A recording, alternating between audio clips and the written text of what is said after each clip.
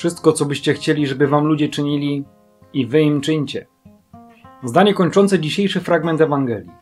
Zdanie, które na dłużej powinno w nas zostać. Zdanie, które nakreśla drogę życia. Co dajesz innym, do ciebie wraca. Każdy z nas w jakiś sposób śledzi wydarzenia na świecie. Każdy z nas też widzi reakcje ludzi.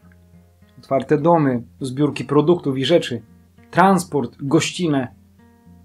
Znamy naszą historię, która miała brutalne momenty. Ale w tej historii powinniśmy pisać nowe rozdziały. Rozdziały, które pokazują przebaczenie i pojednanie. W różny sposób do tego podchodzimy. Ale choćbyśmy byli najbardziej uparci, jak tylko się da, to w obliczu ludzkiej potrzeby pomożemy. Może dla świętego spokoju, a może właśnie z miłości, którą szczelnie bronimy w sobie. Zawsze przed czynem jest kalkulacja i dylematy. Czy warto, czy potrzeba, czy dobrze ta pomoc zostanie wykorzystana. Bo wiele razy wyciągając rękę, zostaliśmy potraktowani jak wróg, albo zwyczajnie oszukani. Zabija to w nas chęć przed następnym razem. Sprawia to, że mogą nas postrzegać jako złych ludzi. Ale Jezus mówi: Choć źli jesteście, umiecie dawać dobre dary. Jakich darów dziś świat oczekuje? Pieniędzy, żeby żyć lepiej? Jedzenia, by być sytym? Nowych aut, by więcej zobaczyć? Tu wszystko marność. Pewnie tak by to określił Kochelet. Świat dziś potrzebuje prawdy, szacunku, rozmowy, otwartości, stałości, zrozumienia. Zamykając to w jednym słowie, świat potrzebuje miłości. Nie takiej serialowej, gdzie wszystko kończy się happy endem. Potrzebujemy miłości, która wypróbowana jest we wszelkich warunkach. W doli i niedoli, w radości i smutku, w uśmiechu i łzach. Potrzebujemy miłości prawdziwej, która sprawi, że podniosę się ze swojego przygnębienia.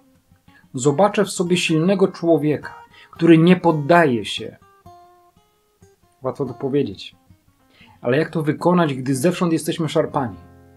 Każdy stawia tylko wymagania, a nikt nie zapyta, czego tobie potrzeba. Wszelkie przekazy medialne mówią sprzeczne treści, że jesteśmy dobrzy, że jesteśmy źli. Jacy więc jesteśmy? W dalszym ciągu w ten wielki post mamy szukać odpowiedzi na te pytanie.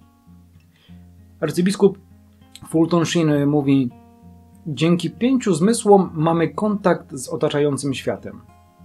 Ale gdy chcemy nad czymś pomyśleć, zamykamy oczy i zatykamy uszy, by odciąć się od, od turkotu obracającej się ziemi. Bo im bardziej odcinamy się od spraw ziemskich, tym głośniej przemawia do nas Duch Boży. Więc może zamknięcie oczu i zatkanie uszu będzie dobrym sposobem na zobaczenie prawdy o nas i usłyszenie konkretnej wskazówki? Zamknięcie oczu i uszu nie uważaj za odcięcie się i obojętność. Raczej potraktuj to jako pomoc, by w tym całym gąszczu ludzkich potrzeb nie marnować okazji do konkretnych działań. Niech nasza modlitwa prośby będzie wołaniem o mądrość. Niech nasze poszukiwanie będzie odkrywaniem prawdy. Niech nasze kołatanie będzie silne jak bicie w dzwon, żeby świat, ten rozległy i ten nasz bliski, przebudził się ze snu. Zamknięte oczy i zatkane uszy uspokoją nas, a zarazem na nowo postawią przed Bogiem, który wie, czego nam potrzeba, ale wymaga naszego poświęcenia.